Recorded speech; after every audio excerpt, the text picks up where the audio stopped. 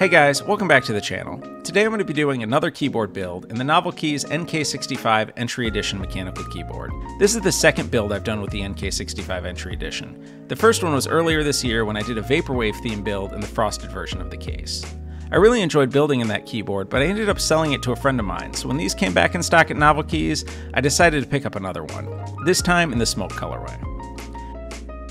For this build, I wanted to try to give the keyboard a little more of a custom feel, so I'll be replacing the stabilizers, lubing the switches, and putting on a set of GMK keycaps.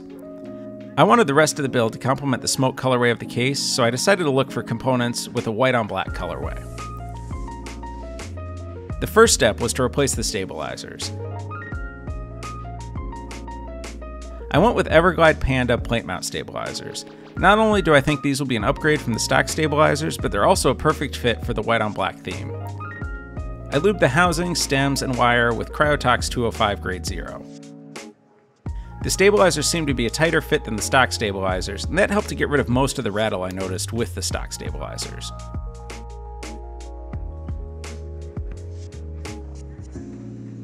For the switches, I went with the Everglide Oreos. I have to admit, I chose these primarily for the color, but ended up really liking these switches for their feel. They're a tactile switch with a light spring weight. Everglide describes them as crisp, and I would say that's a pretty good description of the switch. I lubed these switches with Tribosys 3204. I lubed the sides of the bottom housing and the sides of the stem, along with the springs.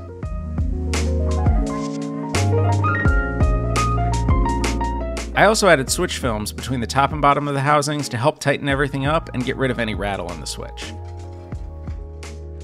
Here's a quick sound test to show the difference between the unlubed switch and the lubed and film switches.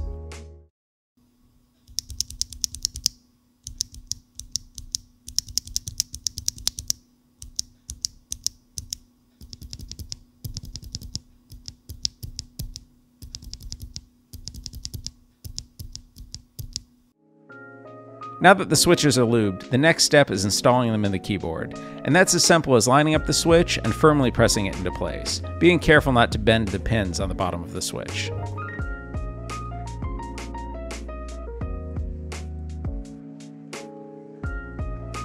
For the keycaps, I went with the GMK white on black keycap set from Drop. This is a classic colorway that looks great on just about any keyboard, and I think it looks great on this one.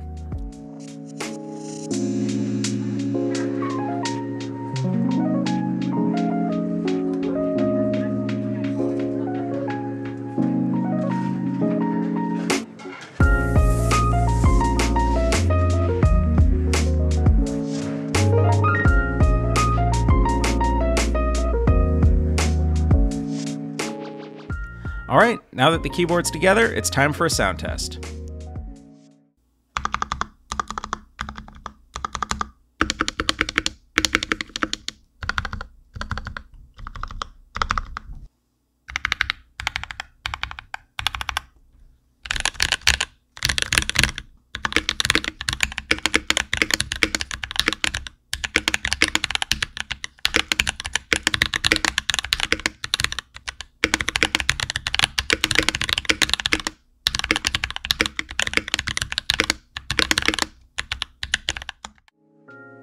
All in all, I'm really happy with the way this keyboard turned out.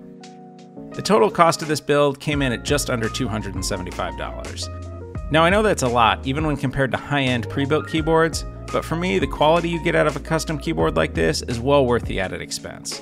You just won't find a pre-built keyboard with this kind of sound or typing experience.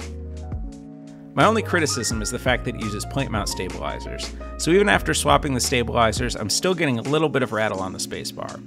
That being said, I still really like the keyboard, and it's definitely going to become my daily driver for a while. Well, that's it for this one, guys. If you enjoyed the video, don't forget to leave me a like, and if you're not subscribed to the channel, go ahead and hit that subscribe button. Thanks again for watching, and I'll see you in the next one.